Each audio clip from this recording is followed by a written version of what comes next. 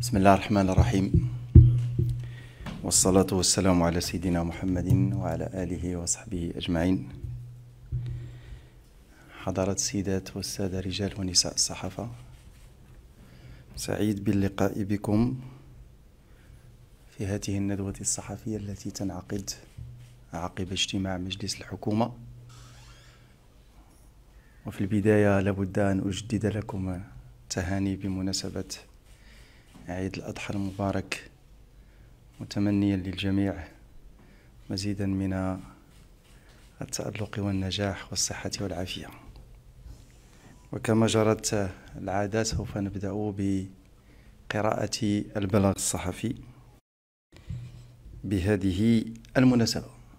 إذا اجتمع مجلس أو انعقد يومه الخميس 13 من ذي الحجة 1445 الموافق. ل 20 يونيو 2024 مجلس للحكومة.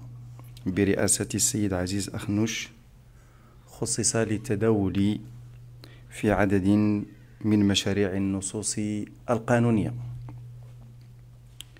وفي بداية أشغال هذا المجلس تداول مجلس الحكومة وصدق على مشروع المرسوم رقم جوج 44 144 بشأن علامة مؤسسة الريادة. قدمه السيد شكيب بن موسى وزير التربية الوطنية والتعليم الأولي والرياضة. ويندرج مشروع هذا المرسوم في إطار تنزيل خارطة الطريق 2022 2026 من أجل مدرسة عمومية ذات جودة. وكذا في إطار تفعيل اتفاق 26 دجنبر 2023 بين اللجنة الثلاثية الوزارية وممثلي النقابات التعليمية الأكثر تمثيلية حول النظام الأساسي الخاص بموظفي قطاع التربية الوطنية. ويهدف مشروع هذا المرسوم إلى إحداث علامة أو علامة تحت مسمى مؤسسات الريادة. كمشروع تربوي تنخرط فيه مؤسسات التربية والتعليم العمومي لضمان جودة التعليم والتعلم ولتحقيق حكامة إدارة وتدبير هذه المؤسسات. بهدف الرفع من مستوى التحكم في التعلمات الأساس وتعزيز انفتاح المتعلمات والمتعلمين وكذا للتقليص من نسب الهدر والانقطاع المدرسيين. بعد ذلك تداول مجلس الحكومة وصادق على مشروع المرسوم رقم جوج 23 1194 بتغيير وتتميم المرسوم رقم جوج 90 471 بتاريخ 7 جمادى الآخرة 1411 25 دجنبر 1990 بمنح أجرة تكميلية للأساتذة الباحثين في الطب والصيدلة, والصيدلة وطب الأسنان. قدمه السيد خالد أي الطلب وزير الصحة والحماية الاجتماعية. ويندرج هذا المشروع في إطار تنزيل التعليمات الملكية السامية الداعية إلى إعادة تأهيل المنظومة الصحية الوطنية. ولا سيما ما يتعلق بتعزيز وتثمين الموارد البشرية. وكذا تطبيقا لمضامين البرنامج الحكومي 2021 2026 الذي أكد على تحفيز الرأس المال البشري الوطني وتثمينه كما يأتي هذا المشروع تنفيذا لمخرجات الاتفاق الموقع بين وزارة الصحة والحماية الاجتماعية والنقابة الوطني للتعليم العالي بتاريخ 3 غشت 2023 وواصل مجلس الحكومة أشغاله بالتداول والمصادقة على مشروع المرسوم رقم جوج 23 900 920 عفوا بتطبيق القانون رقم 37 21 بسن تدابير خاصة تتعلق بالتسويق المباشر للفواكه والخضروات المنتجة في إطار التجميع الفلاحي. قدمه السيد محمد الصديقي وزير الفلاحة والصيد البحري والتنمية القروية والمياه والغابات. ويأتي هذا المشروع تطبيقا لأحكام القانون رقم 37 21 السالف الذكر ولا سيما ما يتعلق منه بتحديد كيفيات منح وتجديد وسحب الترخيص المنصوص عليه في المادة الأولى الذي يسلم للمجمع المعني من أجل التسويق المباشر للفواكه والخضروات المنتجة. في إطار التجميع الفلاحي دون إلزامية المرور بأسواق الجملة. وينص مشروع هذا المرسوم على إحداث لجنة تقنية لدى السلطة الحكومية المكلفة بالفلاحة تتولى إبداء الرأي في طلبات منح وتجديد الترخيص المذكور. وكذا سحبه كما ينص على إحداث لجنة جهوية لدى المدير الجهوي للمديرية الجهوية للفلاحة المعنية التي توجد ضمن مجال نفوذ نفوذه الترابي أو نفوذها الترابي وحدة التتمين المقام حولها حولها مشروع التجميع الفلاحي المعني بالترخيص. تتولى مهام المراقبة مراقبة احترام الشروط التي تم على أساسها منح الترخيص واحترام بنود دفتر التحملات المطابق. إذا كان هذا نص البلاغ. مروا الأسئلة. تفضل. وعليكم السلام. عيد مبارك سعيد لكم جميعا آه، السؤال سكن صديقي من جدة العمق آه، بغيت نستفسر السيد الوزير بخصوص الأمن على مستوى اللحوم خاصة أن هذه السنة هذه عرفنا باللي تم ذبح شاة هي انثى الخروف. بنسبة أكبر مما كيطرح التحدي آه، ديال الأسعار. كنسمعوا أنه الأسعار توصل 160 170 ديال الدرهم. نشوفوا توضيحات في هذا السياق. ثم الموضوع اللي ذكرته تفضل أنا سمعتك. تفضل. ثم ال- ال- ال- المهم أنا اللي غنجاوب ياك. المهم. آه، سؤال ثاني بخصوص مؤسسة الرياضة اللي ذكرتي. سؤال ثاني. آه، يلا. لأنه جات في البلاغ ديالك آه، ذكرتوا المؤسسة ديال الرياضة. شنو النتائج؟ شنو الحصيلة ديال هذا المشروع هذا؟ كنظن بدا بشكل مبكر. أوكي. شكرا لك. شكرا. سيد الوزير كاين ملاحظة على جدول الأعمال ديال المجلس الحكومي اليوم. ثلاثة المشاريع ديال آه، هذا ديال آه، مراسيم.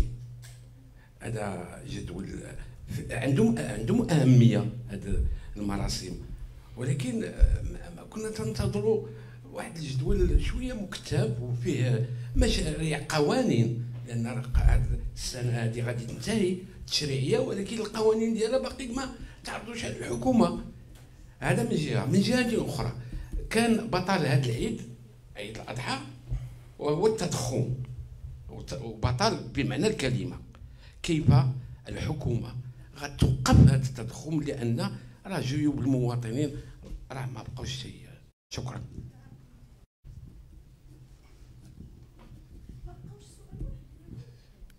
مصطفى الحجري هادشي غير بعد العيد. هادشي مور العيد. في إطار التضخم ديال العيد. تفضل.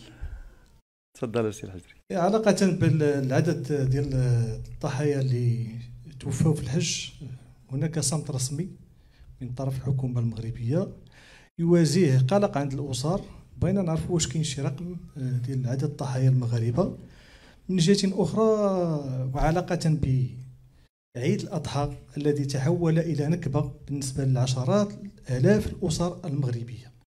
الحكومة تحدثت عن دعم بالملايير لاستيراد الأغنام لكن الواقع شيء آخر يعني كانت كارثة بالنسبة للأسر آه، التهمة تلصق بالشناقة والمضاربين. بغينا نعرفوا واش هاد الشناقة بالنسبة للحكومة واش أشباح واش عجزت أنها تتعامل معهم لأنه الأمر لا يتعلق بخروف العيد كاين في سوق السمك في سوق الجملة في عدد من القطاعات.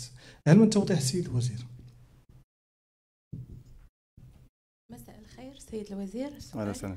آه، ما الغاية من المرسوم المتعلق بالتسويق المباشر للفواكه والخضروات المنتجة في إطار التجميع الفلاحي دون المرور بأسواق الجملة؟ هل من معطيات أكثر حول هذا الإجراء؟ شكرا. سيد الوزير آه، من بغينا نعرفوا مآل آه، امتحانات طلبة كلية الطب والأسنان والصيدلة علم أنهم لم يدرسوا لم يلجوا قاعات الجراحة لم يجروا أي اختبارات. يعني كيف يمكن إجراء امتحان بدون تعلم ولا دراسة؟ وهل فعلا غيتجرى هذا الامتحان؟ السؤال الثاني كيتعلق بعدد الوفيات الحجاج بنعرفوا المعطيات الخاصة هل الأمر يتعلق بارتفاع درجة الحرارة أم وفيات عادية ناتجة عن أو عن ناتجة عن أمراض أم حوادث أخرى؟ سيد الوزير عيد مبارك سعيد. عيد مبارك آه بالنسبة عطفا وتكملة على سؤال الحج أغلب الوفيات تقريبا تجاوز الألف وأغلبهم من غير نظاميين أو غير المسجلين في في اللوائح الرسمية يعني. بغينا نعرفوا في هذه الحالة في حال وقوع وفيات في هذه الحالات الغير نظاميين كيف يتم التعامل مع السلطات السعودية لمعرفة هوية الأشخاص خاصة على أن أغلبهم يتم تسجيلهم كمجهولين. سؤال ثاني آه هناك توقعات بالوصول إلى 17 مليون سائح في 2024 تقريبا آخر. يعني استراتيجية الحكومة لتحقيق أو لبلوغ هذا الرقم. شكرا. شكرا. شكرا على طرحكم هذه الأسئلة. وأنا سعيد أنه لأول مرة سؤالين يتعلقان بجدول الأعمال. يتعلقان بجدول الأعمال يعني بجدول الأعمال الذي نوقش في أشغال هذا المجلس الحكومي الذي انعقد اليوم. سؤال يتعلق بالتجميع الفلاحي المرسوم المتعلق باستثناء هذه المنتجات من الولوج عبر أسواق الجملة وأنا غنجي في التفاصيل. وسؤال طبعا ثاني حول الريادة وهذا أنا أسجله معطى مهم أن سؤالين في ندوة صحفية ينصبان على جدول لأن في الغالب الأسئلة تكون ذات يعني طبيعة مختلفة وأنا حقيقة لا ألومكم على ذلك ولكن أحاول قدر المستطاع أن أجيب حول هذه الأسئلة بما توفر من معطيات دقيقة في هذا الموضوع. فسؤالين لأول مرة في جدول الأعمال هذا هذا أسجله ب يعني بارتياح كبير. أه نبدأ بالموضوع الأول موضوع مؤسسات الريادة. مؤسسات الريادة هذا واحد من مستجدات الاصلاح التربوي الذي تقوم به الحكومة في مجال إصلاح المنظومة التعليمية ببلادنا. هذه المؤسسات الرياده هو مشروع وبرنامج مهيكل الذي يستهدف تحسين عملية التعلم. عبر ماذا؟ عبر ثلاثة ديال الأبعاد الأساسية. كاين البعد المرتبط بالتلميذ عبر اعتماد مقاربات وطرق جديدة في التدريس خاصة المقاربة التدريس وفق المستوى المناسب. ثم مقاربة علاجية تعنى أيضا بالدعم التربوي. وأيضا مقاربة وقائية تهتم في أو, أو تنصب على التدريس الفعال خلال محطة اكتساب المعارف. لأنك تعرفوا بأن في العمر ديال التلميذ هناك محطات معينة يجب إما أن يكتسب فيها هذا التلميذ المعارف التي سوف يحتاجها أو أنه لا قدر الله ما يأخذهاش وهذا هو اللي كيؤدي إلى يعني إلى إلى المغادرة ويؤدي إلى الهدر ويؤدي إلى كذا. المحور المرتبط بالأستاذ هو المحور اللي فيه تيسير ظروف الاشتغال عبر تزويد الأطر التربوية الإدارية بالتجهيزات الرقمية وبالموارد البيداغوجية وأيضا عبر المواكبة عن قرب من طرف المفتشين التربويين وأيضا عبر التكوين ومنح الإشهاد النظري والعملي لفائدة الفريق البيداغوجي وأيضا عبر يعني اعتماد آه، أو الاهتمام أكثر بمجال التكوين والتكوين المستمر. المحور المرتبط بالمؤسسة هو الذي يهتم بتحسين ظروف الاستقبال بالمؤسسات التعليمية من التأهيل من النظافة من يعني تزويد القاعات بمختلف التجهيزات التي تحتاجها هذه المؤسسات. وضع موارد مالية. رهن إشارات المستوى المؤسسات التعليمية. تخويل علامة مؤسسات الريادة من طرف لجنة مركزية تقوم بتخويل هذه العلامة لفائدة هذه المؤسسات. وبالفعل بدأت الحكومة في تفعيل هذا الورش منذ هذا الموسم الدراسي الحالي 23 24 حيث تم الانطلاق بواحد 626 مؤسسة تعليمية عمومية. استفاد منها تقريبا واحد 322 ألف تلميذ. هم الآن يستفيدون التقييمات اللي تعملت.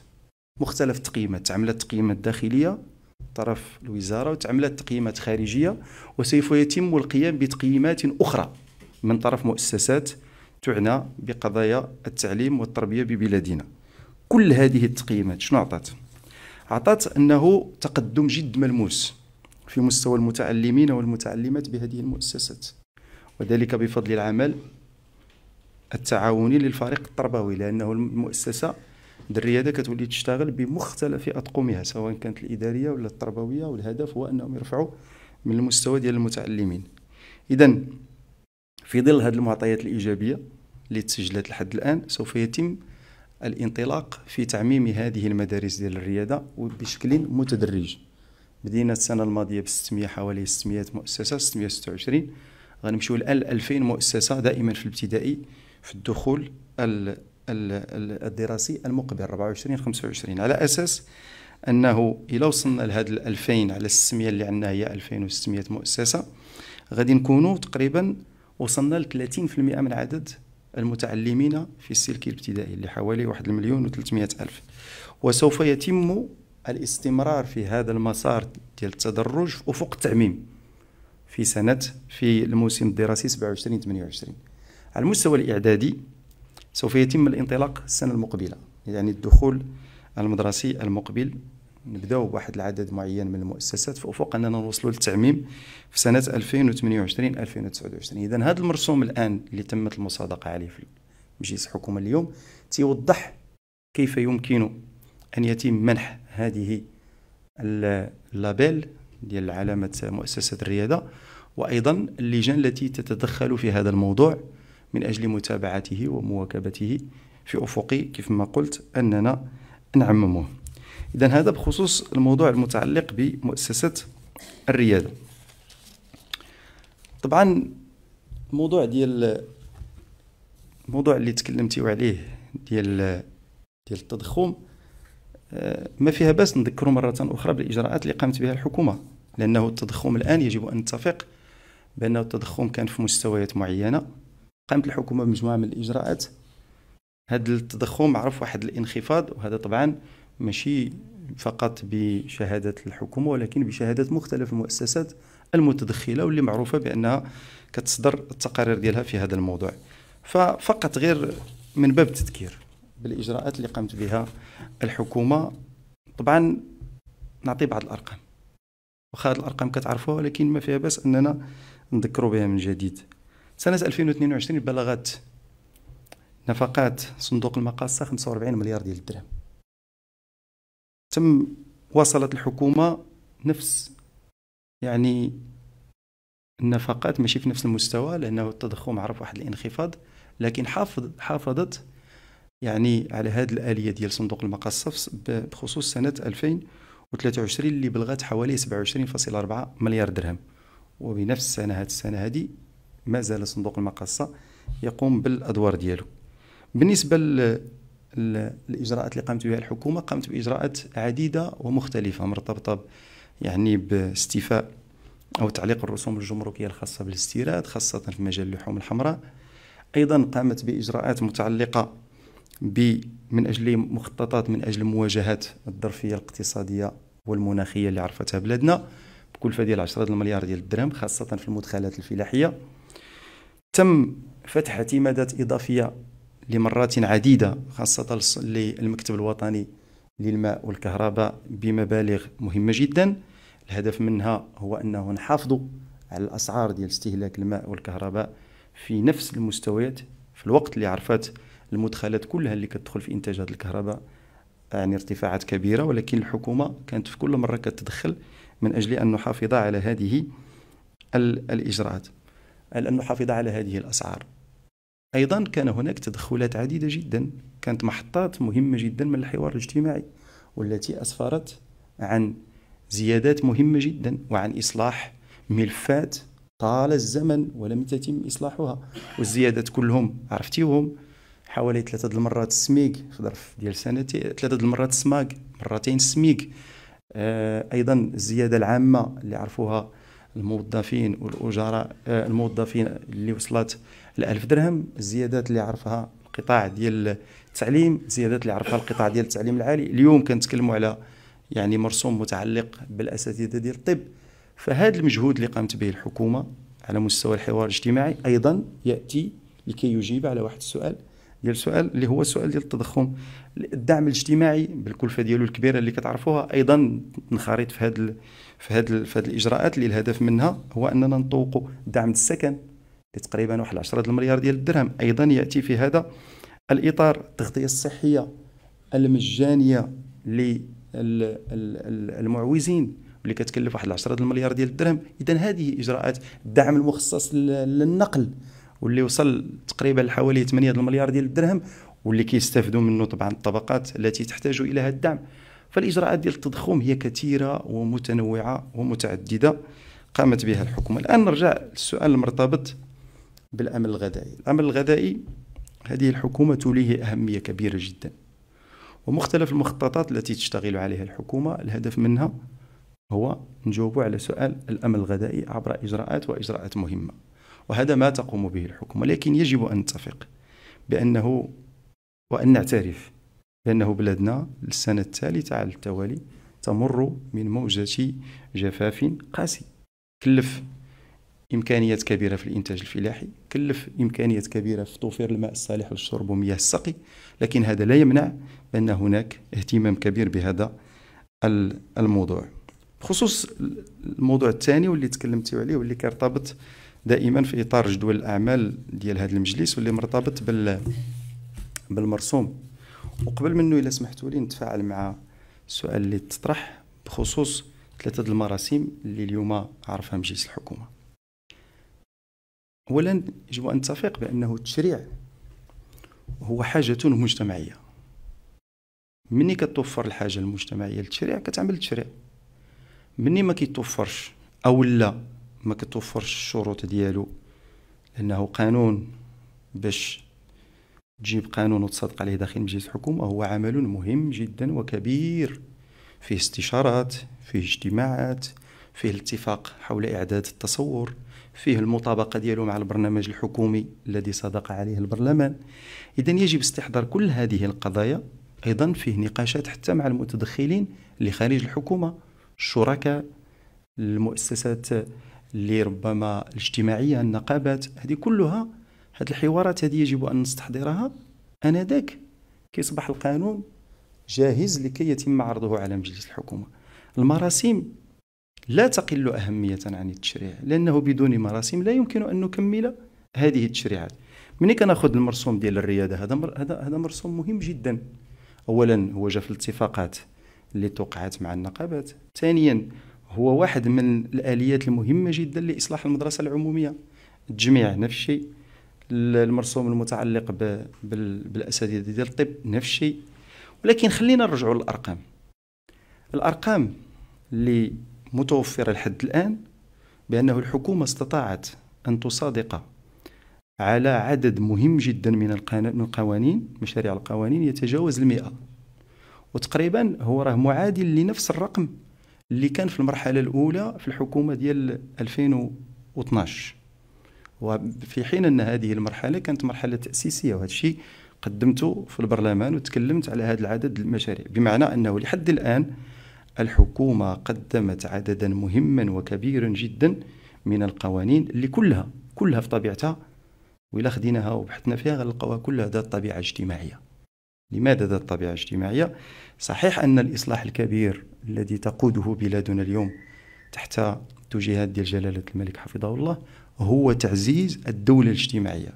لذلك غتلقى كل هذه القوانين هي ذات طبيعة اجتماعية لكن العدد هو عدد كبير ومهم جدا ويعكس العمل الذي تقوم به العمل الإصلاحي الذي تقوم به الحكومة في شتى المجالات طبعا هناك قوانين ذات طبيعة اقتصادية العنوان الكبير اللي نعطيك هو ميثاق الاستثمار 20 سنة وحنا عندنا واحد الصيغة قديمة تمت مجموعة من المحاولات من أجل إصلاحه هذه الحكومة نجحت في ذلك في ظرف قياسي.